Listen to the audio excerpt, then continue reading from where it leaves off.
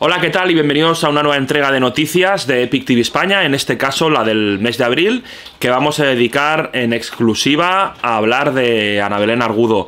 Ana, la escaladora madrileña, se ha convertido en la tercera española que llega al noveno grado tras Josune Bereciartu y Mar Álvarez.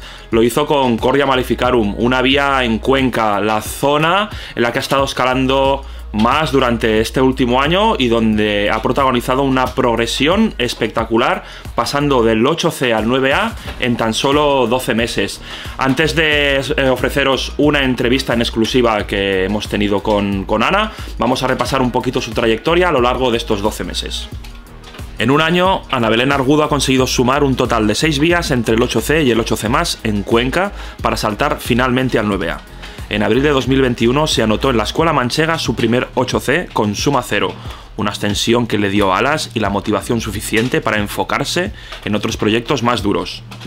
Dos meses después de Suma Cero, Ana realizó un paso más al encadenar Madiva 8C barra más en el rincón de la ermita. El siguiente paso natural era apostar por el 8C, que llegó para la madrileña en octubre de 2021 al tachar Potemkin. Con esta ascensión se convirtió en una de las pocas escaladoras españolas que han conseguido alcanzar el 8C. Antes de entrar en la novena dimensión, la madrileña se dio un capricho y encadenó la que posiblemente es la vía más emblemática de Cuenca, el Calvario del Sicario, 8C barra más, y firmó un doblete de 8C con Citania y Corazón de Cofrade. Concordia Maleficarum y con 20 años recién cumplidos, Ana Belén Argudo es la escaladora en roca del momento en España y su nombre empieza a sonar fuerte en los medios de comunicación especializados en escalada a nivel internacional. Antes de ofreceros la entrevista con Ana, os recordamos que podéis encontrar todo lo que necesitáis para escalar en la tienda online de Epic TV. Apoya Epic TV España y suscríbete a nuestro canal si quieres seguir disfrutando de vídeos como este.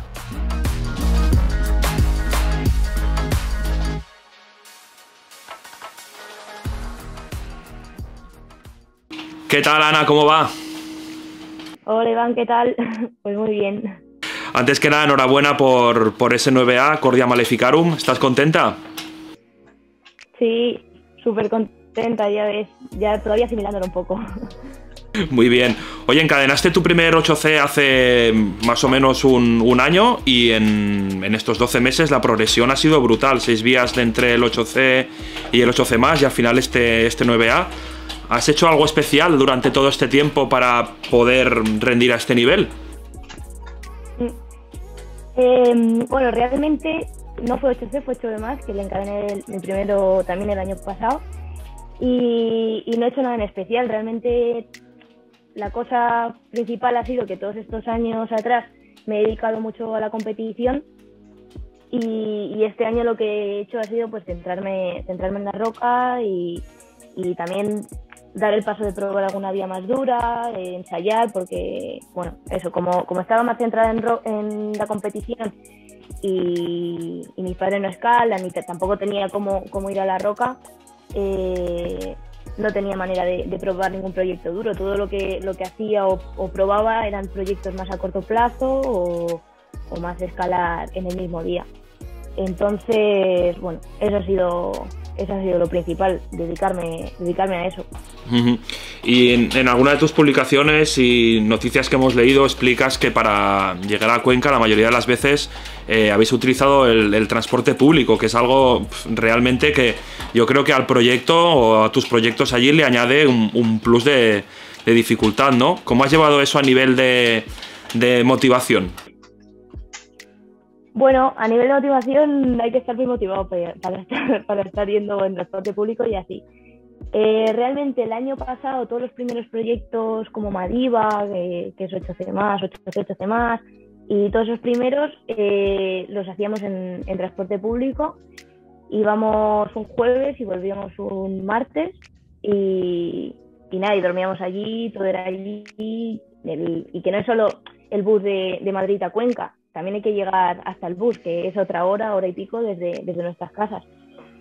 Eh, luego después de eso eh, tuvimos, tuvimos furgoneta, que fue un cambio brutal y ya era como, como trampa, parecía menos grado y todas las vías. Y eso, bueno, eso ya fue un cambio, un cambio enorme. El poder dormir allí, el estar allí.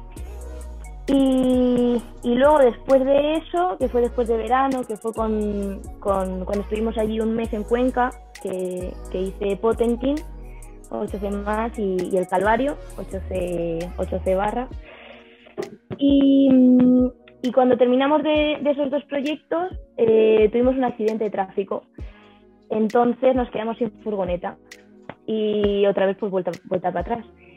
Eh, y entonces todos, todos esos meses, desde noviembre hasta ahora, hemos estado sin furgoneta. Y bueno, también hemos estado con COVID, alguna lesión y así, pero bueno.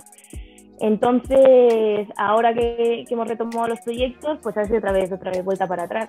Eh, a volver a ir en, transporte público para el día. Eh, si Simón eh, hay varios coches en la familia, pues siempre haciendo el Tetris para, para, conseguir algún coche, pero, pero igual siempre para el día, ¿no? Porque ese coche no es nuestro, lo necesitan otras personas. Y, esa ha sido un poco, un poco la gestión de, del proyecto.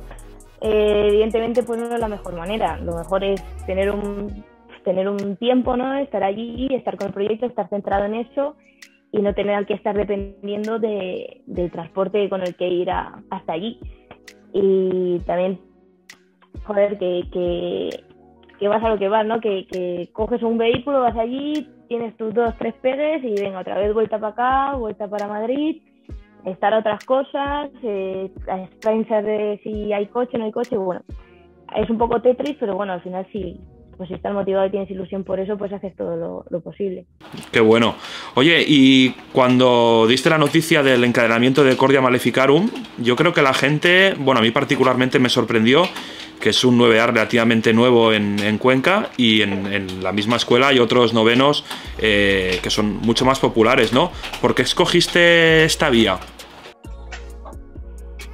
Escogí esta vía por, por un poco por casualidad. Eh, en ese momento estaba un poco como cogiendo un poco, estaba poniéndome un poco en forma. Eh, hacía relativamente poco había tenido una lesión de hombro y había estado un poco parada. Entonces, en ese momento estaba, estaba como haciendo un escaloncito más. A empecé por el 8A, hice un 8B, hice un 8B más. Y ya empecé a probar alguna vía más dura, que, que hice la, la Citania, que es un 8C ahí también nuevo.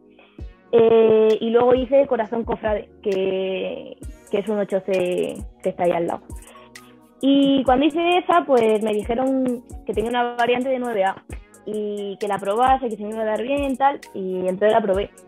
Y cuando la probé se me dio bastante bien, la verdad que lo veía lejísimos, porque había, tiene un bloque arriba muy duro que prácticamente ni me salía Mm, y, bueno, pues decidí centrarme en ella y ir probándola a ver si a ver si evolucionaba y darle un poco de esa oportunidad. Tampoco sabía si realmente la podía hacer, o sea, en ese momento era algo impensable.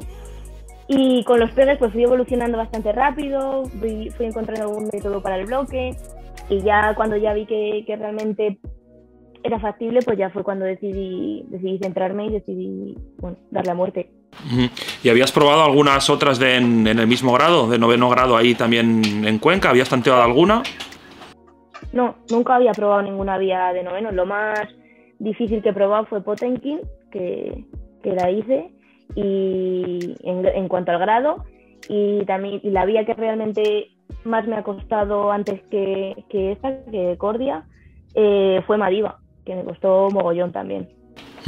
¿Y eres consciente, eres la tercera española que encadena una vía de, 9A después de, de, Josune y de Josune Cierto y de Mar Álvarez?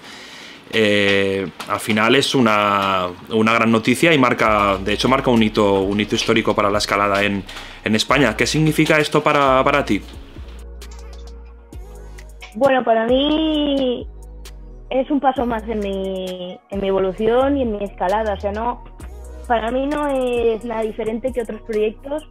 Eh, claro que, bueno, que era un objetivo, ¿no? Hacer noveno en algún momento de mi vida, pero, pero no ha supuesto un, proceso diferente que, que Madiva, por ejemplo, que puede ser lo más, lo más similar, ¿no? Que al final me costaba mucho un bloque, que era el de arriba, y, y le iba pensando, joder, me cuesta mucho porque es noveno. No me cuesta mucho, estoy centrada en eso, quiero hacerlo y, y claro que me hizo mucha ilusión, pero me hizo mucha ilusión porque me costó mucho. Eh, entonces, entonces, bueno, eso.